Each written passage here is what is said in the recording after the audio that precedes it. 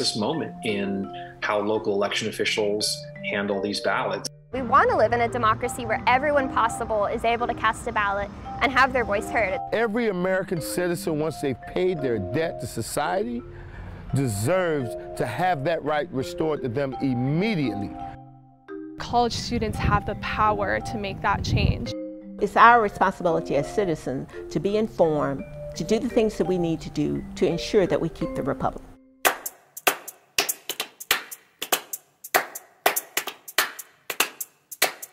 Today, we're looking at voting in multiple states. In Texas, we'll look at how we cast our ballots.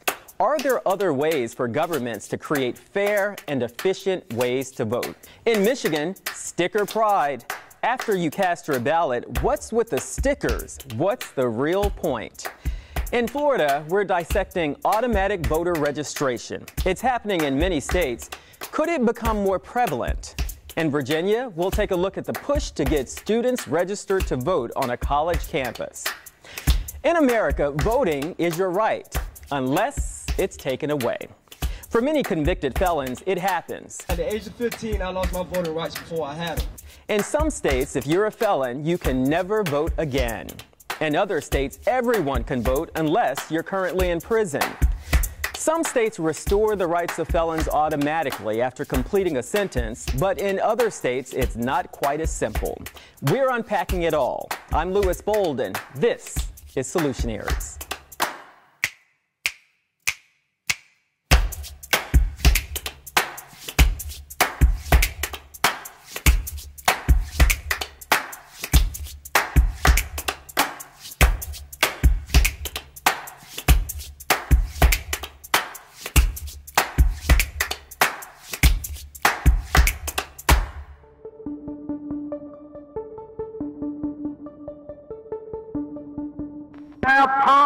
Represented here today. And I come to ask you to go all out to get every Negro in this county registered to vote. From Dr. Martin Luther King to Congressman John Lewis. Madam Speaker, you have heard me say on occasion that the right to vote is precious, almost sacred. The fight for voting rights has a strong history right here in Atlanta. We've had some of our greats, like John Lewis behind me, whose literal life was about making sure that everyone has access to the ballot, access to vote. If you see something that's not right, that's not just, you have an obligation to do something about it. And it's just as important today as ever before. Close elections, tight elections, Georgia has become a legitimate swing state where you never know which party is going to come out on top. This day and age, are we still having problems with people being registered to vote? Oh, absolutely. Absolutely. Uh, we have issues with maintaining accurate voter rolls and getting every eligible voter on the rolls. Uh, fundamental to voting rights is getting people on the voter rolls. We can throw a polling location on every corner, and if you're not on the voter rolls, you can't walk into that polling location and vote. The first step is to get on the voter rolls and to get registered. Which is where automatic voter registration, or AVR, makes a difference. Automatic voter registration started in 2016 in Georgia. It was done as an administrative decision. It was then Secretary of State Brian Kemp, the Attorney General's office, and the Department of Driver Services. They said, why don't we just start automatic voter registration? It'll perhaps prevent us from being sued and also re result in more accurate voter registration lists because people will have their information verified. Here's how AVR works, at least here in Georgia. Say you go to get a driver's license. Well, if you are eligible, the state will automatically register you to vote, unless you specifically opt out. Same goes for if you are just moving here or if you change addresses. The result? Voting is at an all time high. Since 2016, the number of registered voters has jumped by a million to 7.7 million Georgians. And in the 2020 election, a record breaking 66% of voters cast their ballots. The biggest growth among minorities, those in lower income communities, and young people. So I'm James Wilson. I'm a student at Georgia State University. I'm Alex Ames. I'm a student at Georgia Tech. I'm Julian Fortuna. I'm a student at University of Georgia. What I see with AVR is that it gives people more confidence. They come in and they're not asking, am I registered to vote? Can you check my this? Can you check my that? They know they're registered to vote and they come in more confident because of that. We want to live in a democracy where everyone possible is able to cast a ballot and have their voice heard. It's how we end up with representation that doesn't frustrate people and doesn't vote in ways that we're like, how did this happen? This isn't what people want. Because of AVR, we have a huge number of our, a huge proportion of our population in Georgia registered to vote. Um, and and that, that does a lot of good, but unfortunately not. I don't think everyone wants to see that. There have been hiccups here, which caught the attention of the ACLU. Automatic voter registration was unfortunately removed in an administrative decision about a year ago.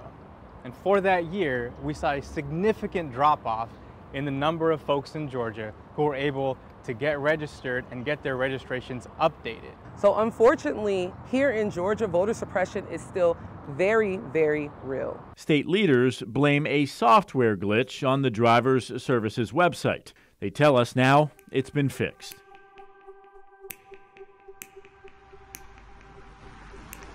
Does automatic voter registration help one party more than the other? It doesn't. It's just about your core ability to be on the voter rolls so that you can access your ballot and get your ballot counted. Regardless of what party you support, The primary way that Georgians have been able to get registered and to get their registrations updated has been automatic voter registration. 20 states and D.C. have approved AVR, saying it not only brings more voters, it catches duplicate registrations and saves taxpayers money. Automatic voter registration, no matter who you ask and what party, you'll get different views on it, but I don't think you can dispute that it has expanded voting opportunities and access and accuracy. What are the cons to AVR? When you look at the cons to having automatic voter registration, there's none. There's simply none. Any argument that could come up against automatic voter registra registration is not strong enough because the point of the matter is everyone has the right to vote. One day, Georgia will be a better state. And that, activists say, is walking in the footsteps of giants.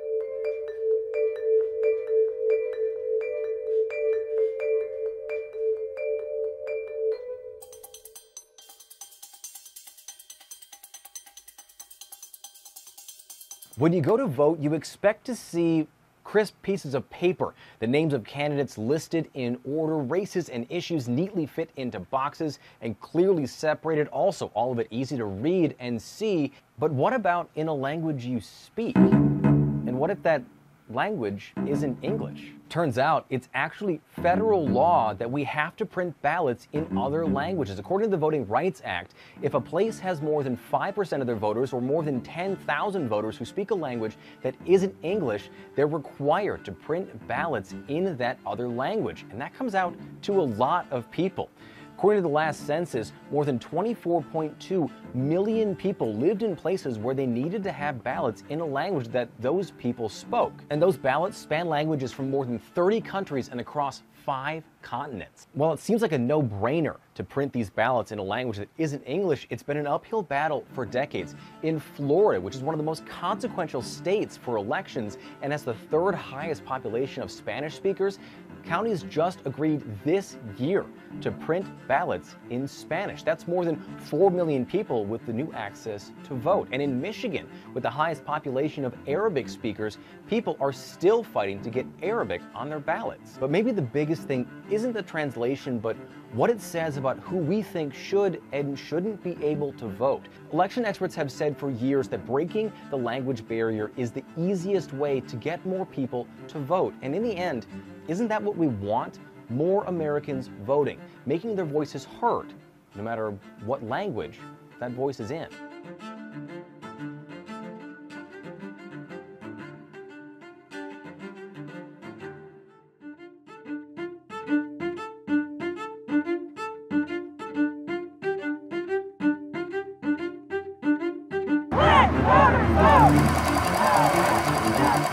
Nationwide, we've had a lot of more discussion. Elections and voting have become very politicized in a way that they just haven't been in a long time in America. Election officials should be working to stop potential mail ballot fraud.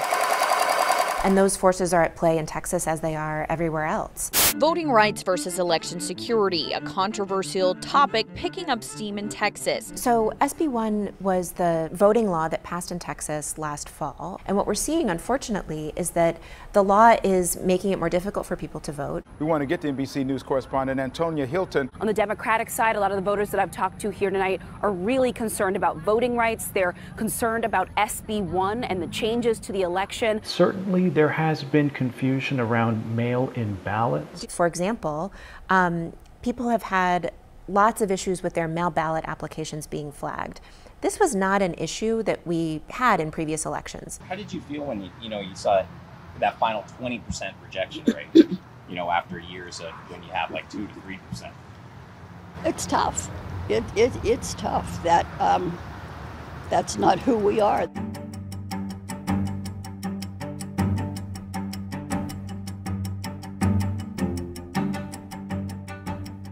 So many people are having their ballots flagged because the new law imposes requirements. Mail ballot envelopes now need to have the voter's state ID number or the last four of their social on the outside of the envelope. In this spot, under the flap. It's a spot some missed entirely. In particular, I spoke to older voters who were talking about challenges with mail in voting now that the law required people to submit identification numbers that had to match what they sent in when they first registered to vote, which has proved to be very challenging. I just got this uh, letter handed to me. This is from the Secretary of State, Secretary of State John Scott, who says that the uh, delay in Harris County voting, that the votes will not be tabulated by uh, tomorrow once again, there's some sort of election ballot issue in Harris County. You have both party chairs, they're completely frustrated, and yet on a typical night, you're telling the state you're not going to be able to count all the votes by 7 p.m. Harris County has never said that we're not able to return results over tomorrow night. We had a meeting earlier with the Republican and Democratic parties and the Secretary of State. Those parties were nervous because of the new legal implementations the civil, uh, the civil, sorry, penalties that could be excised upon them. They said we're nervous with SB 1. Senate Bill 1 weaponizes, right? Weaponizes all these claims, even these 30 year old kind of mundane, outdated laws. We're scared to violate that because we, as presiding judges, are we going to jail? Tomorrow morning, we still may not know the results. All eyes are on Texas right now. Yeah. We're the first primary in the nation. So this definitely is a high profile mess up. We're in a a crisis moment in how local election officials handle these ballots. And the harder it is to convince people that it's being done well. I mean, we're here to facilitate this and get every voter. And we build up relationships with so many of these people over the years. Um, so, like I said, we're, we're working it, we're working it. And uh, with your help, we're going to get there.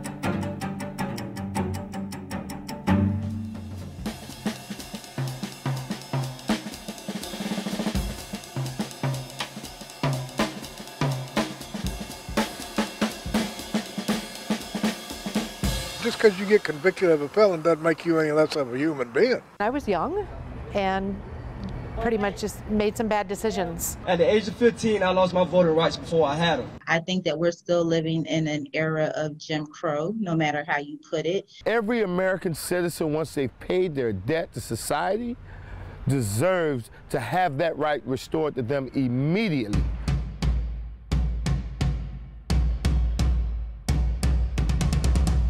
My name is Desmond Meade, and I am the Executive Director of Florida Rights Restoration Coalition.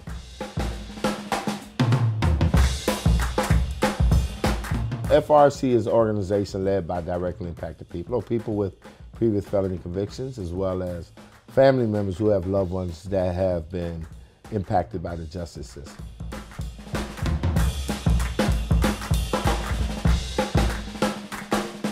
To tell someone that in spite of the fact that you served your time and paid your debt to society, that you should not have a say in how your community or state or country is ran.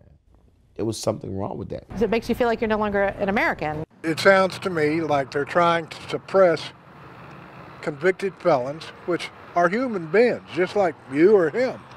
And everybody's got a right. You know, you want to talk about a moment? You want to talk? You want to talk about my wife Sheena running for office? Uh, she ran for House District 46, right? Getting all excited about it. And weeks before the primary election, you know, and someone approached me and said, "Desmond, I know you're excited that you're going to get the vote for your wife, right?" And it was like they took a knife and just stuck it in the old wound and twisted it, reminding me, right, that I'm not even good enough to vote for my wife.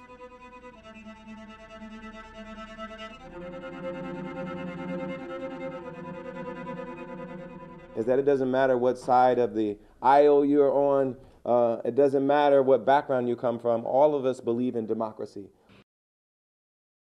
From the very beginning, right, I knew that this issue was more than just an African American issue. It was more than just a, a, a Democrat versus Republican issue. That this was an all American issue. Let's go to election night. 64% of the vote? 64. I won't say 65. More than 64, yeah. Yeah.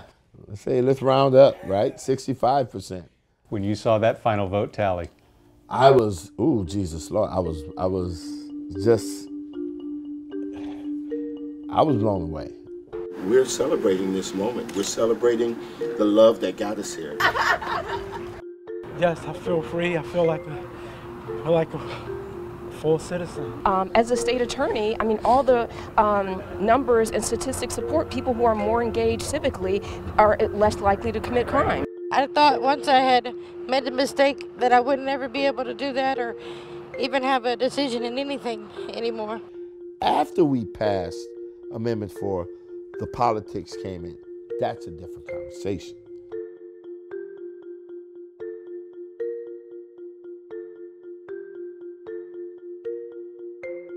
We didn't believe that any American citizen should have to choose between putting food on their table or being able to vote, paying their rent or mortgage or being able to vote, right?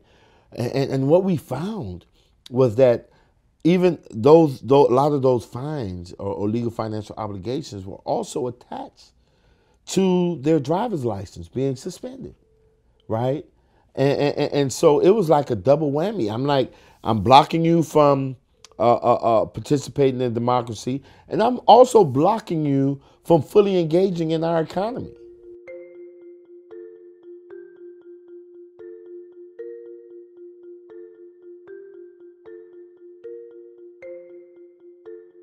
If I'm going out to register people to vote, I'm not trying to register more Democrats. I'm not trying to register more Republicans. You know what I'm trying to register? More investors in our democracy. I want you to invest in our democracy. Whether you think like me or not, your participation is an investment in it. And the more people we have investing in it, the more vibrant it is, and everyone benefits.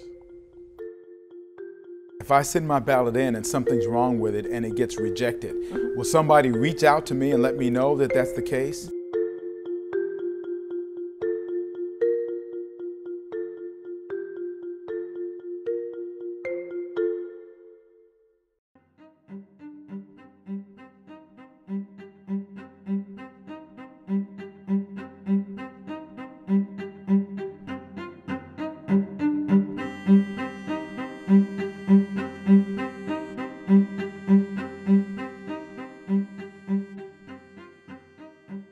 So let's get some questions answered about um, what voters should be aware of.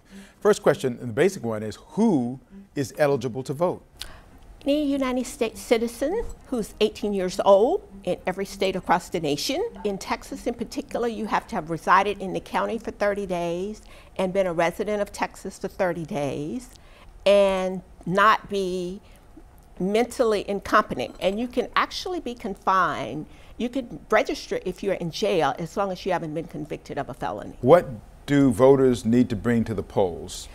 Voters need to bring some form of identification to the polling place, and it would be a good idea to bring their voters registration certificate that they get in the mail after they register to vote because it has valuable information on it. What is the status now on how to get a mail-in ballot. Can everybody do that or how does that work? Very specific rules for getting a vote by mail application.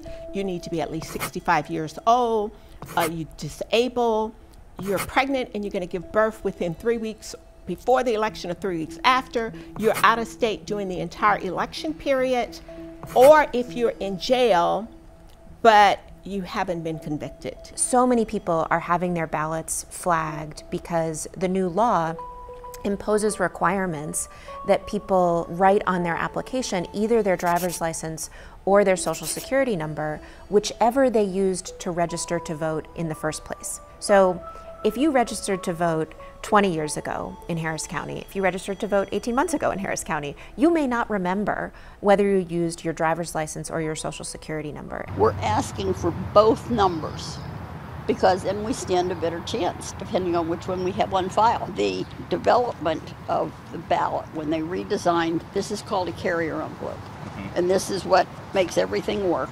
The voter puts their ballot in in the secrecy envelope, then they seal it. And as I said, for years, this has been the back of the ballot. Find the red X, and it says sign over the flap. And that's for their protection because then we can see if anybody's opened it sort of they'll mess up their signature. And the voters have been doing this for years and years and years. So I can see how it was easy to miss this. If the actual ballot does not arrive, arrive in time there is a possibility that the election officials may reach out to you to cure the ballot, that you can make, if there are things wrong with it, that they can fix it. A follow up to that if I send my ballot in and something's wrong with it and it gets rejected, mm-hmm. will somebody reach out to me and let me know that that's the case? They may reach out to you if there's adequate time, but it's not required by law that they do. Here in Harris County, the county clerk has been very vigilant about following up with voters. Hello there, Dad. How you doing? The county clerk will help you um, call them back, write them back, try again um, to, to get that information synced up so that you can vote by mail. So um, we run the 1 866 Our Vote hotline. We staff it with lawyers. We run it together as the ACLU of Texas with the Texas Civil Rights Project, Common Cause, the League of Women Voters. So what we try to do is give the voter information that empowers them to cast their ballot right then. But before you do that, do your research. Go to Vote 411 or the League of Women Voters Voters Guide webpage to find out who are the candidates on the ballot for your respective area so you can make a decision. Kind of like Benjamin Franklin said, ma'am, we created a republic if you can keep it. And so it's our responsibility as citizens to be informed, to do the things that we need to do to ensure that we keep the republic.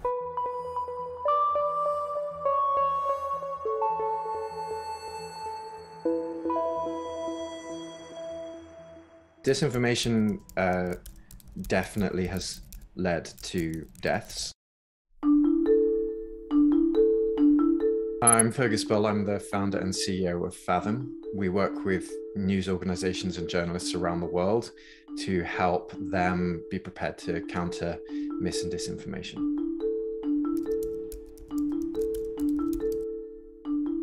Misinformation is uh, something that is unintentionally shared or unintentionally put out there into the world. It could be something as simple as a mistake that someone has made that just ends up getting gaining some traction, uh, or it could be um, something being misread or shared out of context.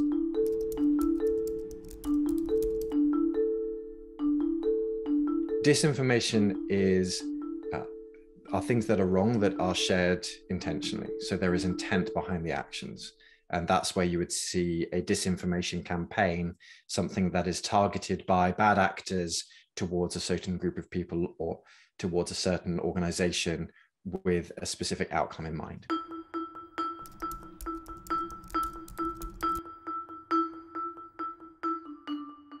The reason why misinformation can turn into disinformation is because uh, if it's being shared and there's some kind of something that people are grabbing onto, uh, some some reason why this is an interesting thing to people, or or there's something entertaining about it, and it means it's going to be shared.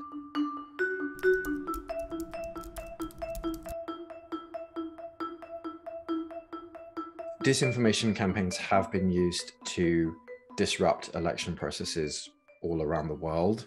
In 2016, uh, it was uh, used in the US. Uh, we know that there is evidence of that. Uh, we have found the, the social posts. They are designed to sow doubt or they are designed to uh, create situations where people are pitched against each other. It's got to be something that's a little bit more vague that people can't quite latch onto to say whether this is true or not true there's always a kernel of truth, or there's often a kernel of truth in a disinformation campaign. Certainly in in misinformation, um, it's because that it helps with that with that spreading. If you are a regular person, uh, you might you might think, well, I've heard that before, or yes, I remember that, and you might not know where, and you might not know the exact detail, but that is enough that might uh, allow someone to feel more comfortable sharing it, and that's how it works.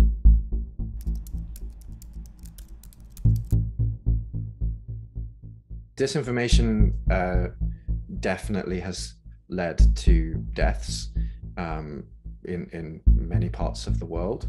We've seen there's definitely cases in in Asia where we've seen disinformation campaigns have led to uh, lynchings of people. Um, we've seen the same in in Africa uh, we've also seen disinformation campaigns in in other places in the world where we where we've seen uh, democracy be disrupted. Uh, the intent there is to is to disrupt an election. So it's dangerous in terms of democracy. It's dangerous in terms of people's lives.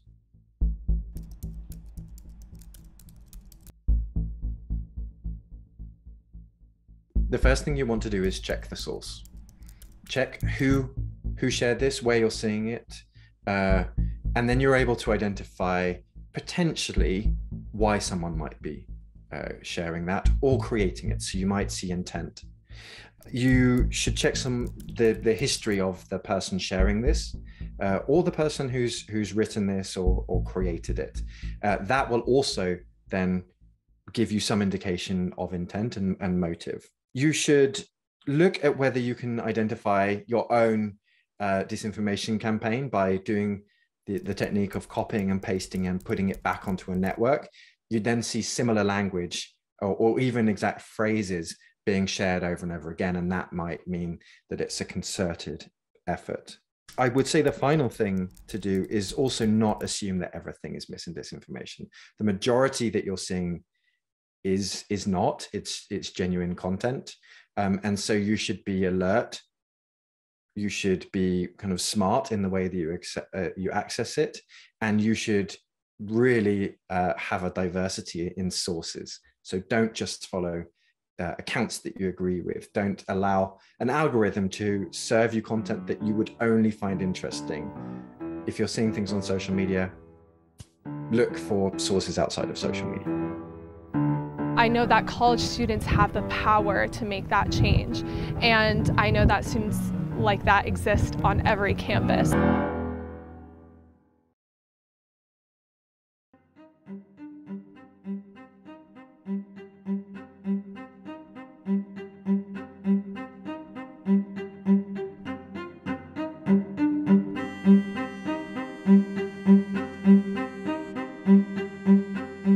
College students can register to vote at home or where they go to school. Vote.org says the choice is legally yours. You have dual residency, so you can register back home or on campus, as long as you don't register to vote in both states. A college student votes in the same manner as any other registered voter, in person on election day, or if eligible by absentee. Now, if you register to vote back home, you'll need to remember to sign up for an absentee ballot. But Vote.org says students with scholarships or tuition that require residency should check with their financial aid office before registering to vote back home. For example, if you have a scholarship that requires California residency, you should ensure that registering to vote in a different state will not affect your status.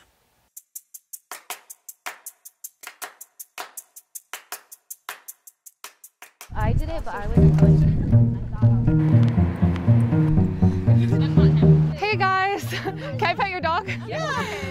What is this for? Um, so I'm with VT Engage, which is the Center for Leadership and Service Learning, and basically we're doing some voter education today. It's great talking to you guys. My name is Maya Mehdi. I'm the director of Hokies Vote Caucus. If you use this QR code, you can put in your address and it will tell you what representatives are up for election. I've always been really passionate about voting rights specifically. Both my parents are Syrian immigrants, so I was always raised around this culture of, you know, how awesome democracy is and how it really is a beautiful thing to have your voice valued and to um, speak up and to empower the people around you. um, do you have a second to talk about voting by any chance? Um, sure. Um, so, College students have been at the forefront of political activism since forever. Um, you know, UC Berkeley is a huge hub of political activity. It's where the disability rights movement started and where it continues to this day. And so I know that college students have the power to make that change. And I know that students like that exist on every campus. I'm Beth Obenchain. I'm a board member of the League of Women Voters of Montgomery County. So we're fortunate tonight to have Dr. Brandy Faulkner as our moderator. Thank you uh, so much. Am I coming through okay? Is my sound good? But that's one of the purposes of our program tonight is to have two women who've had been on the board of supervisors and the city council who've been very active in local elected positions to talk specifically about how they became involved. What's your first step before you sign up to run for Congress? The first political uh, I guess, feeling I ever had was in fourth grade. I do have a voice. I do have something to say. If you don't have a seat at the table, you might be on the menu for lunch. What we're trying to do is get our audience tonight and in the future to think about what are those first steps you can take locally to become involved because that is so important. And of course, if they start to do that, then they will vote on the local elections and be, again, much more knowledgeable of issues. The voter turnout and the voter registration that's come from the Virginia Tech campus is incredible compared to other colleges. Why is that? I think you're seeing a, a, group of students that are motivated. You know, we have Ut Prosim as the university motto, and so wanting to make social change in their communities and realizing that this is one of the ways um, that they're able to do that.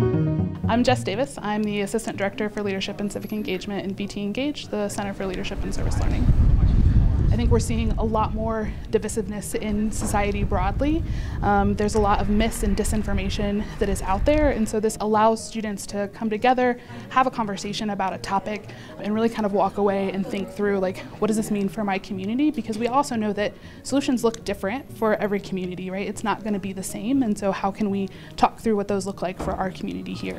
What are some of the limitations? What do you run into when you're trying to educate students on voting rights? Yeah, um, you know, I think probably the biggest limitation to students voting is really that time piece, right? And I don't think it's different for any other person too, right? But we know our college students are taking classes, they are holding part-time jobs, some of them might be full-time jobs, right? They have all these other things that are happening in their lives, and so um, carving out that time can sometimes be difficult, um, particularly when I think about our first-year voters, right? Like, there's nothing like going to the polling place on election day. You're going, you're getting uh, your, your ballot, you fill it out, you get your sticker. Um, I think it's a really exciting time. And so we're seeing a lot more of our students wanting to wait rather than do early voting options so that they can have that experience.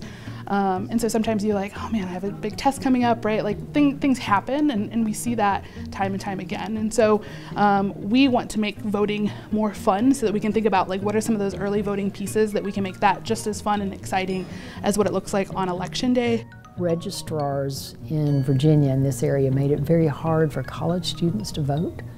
Uh, they only wanted them to vote where their parents lived. Uh, and so uh, the biggest change we've seen is students can now choose. Do we want to vote on campus? Do we want to vote here? Or perhaps we know the candidates and the issues a little better in our hometown, whether it's Northern Virginia or Harrisonburg. So, so that's been a great improvement. And something unique to Virginia Tech is there's actually a voting precinct on campus. Yeah. Talk to me about that. Since the 2016 election, they've been voting in the Squires Student Center. And so if students are registered to vote here on campus, they're able to use that precinct to vote. And so it's a pretty fun time. The, the entire ballroom is kind of decked out in people um, for the precinct to be able to cast their ballots. How were you able to get the whole campus to rally around this? Well, I mean, I think asking people to register to vote is a pretty easy thing to rally around. I think it's one of those rights that we have as a citizen that we want to exercise. But I think the important piece too is that we really have support from top down. It's really exciting and great to see a new generation kind of coming up and, and having that excitement. One of the things we want is for college students and younger voters to realize that they are a powerful block. If they just get together and register and believe that their vote matters, they could have a huge impact. I feel like voting is the first step, and then you can push people to really um, be activists and be the person to take that first step to make the change they want to see. So. They come in all shapes and sizes and quality. They've been around for decades, but why do we start using these little stickers and where do they come from?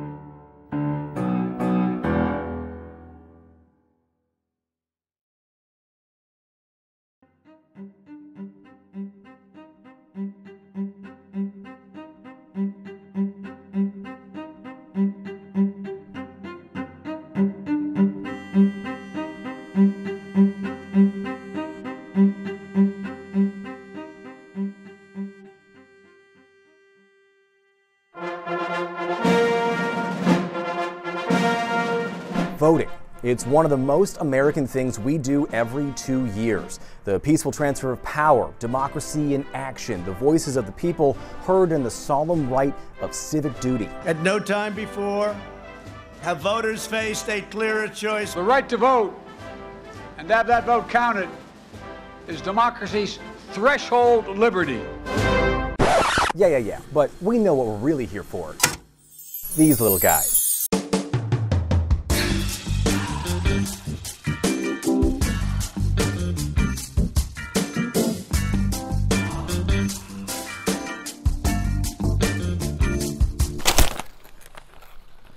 Hey. Ooh. This is what we came for. Justin, you want to? Yeah, yeah. They're coveted. They're colorful. They come in all shapes and sizes and quality, and they're definitely a flex in an election selfie. They've been around for decades, but why do we start using these little stickers and where do they come from? Those little stickers actually have their roots in the 1800s, when voting wasn't a secret and cities and towns threw huge parties to get people to turn out. Eligible men would grow election beards or mustaches just to show off they were old enough to vote. It's your civic duty. One historian told Time magazine it was the state fair, the 4th of July, and Christmas Day all wrapped into one. The rule was you had to be a man of ordinary courage uh, to vote, and that meant shouldering through uh, crowds of raucous, drunken other voters who often came, you know, early to, to, and often the night before to to you know stake out their claim. That's Donald Green, a political science professor at Columbia University. In 2016, he did a study looking at how reviving that same kind of festival atmosphere could make turnout higher. You would vote in public. You would typically vote with a colored ballot that will indicate the party of your choice, and you had to set it on the public ballot box to the boos and cheers of uh, the people around you, and then stick it in. And you know, up until to that point, um, you were being plied with uh, whiskey from you know one or both parties. Yeah, that's right. The I voted sticker of the 19th century was whiskey. The amount of booze that was consumed on election day was truly fabulous. And in New York City, for example, apparently 90% of the voting locations were in saloons uh, in the 1860s, which is part of the reason why it was difficult for Victorian era women to get the vote because it was associated with drinking. But as the 1900s came and reformers of both the temperance movement and the progressives like President Teddy Roosevelt wanted to shift away from party machines and more towards elections about the issues, it had the side effect of turning elections into much more solemn days. By the 1920s, everyone, the Boy Scouts, civic leaders, everybody is bemoaning the fact that turnout has fallen from roughly 80% to under 50%. And things stayed pretty much the same until the 1980s, when we first see those little red and blue stickers. The first mention of one is in the Miami Herald in 1982.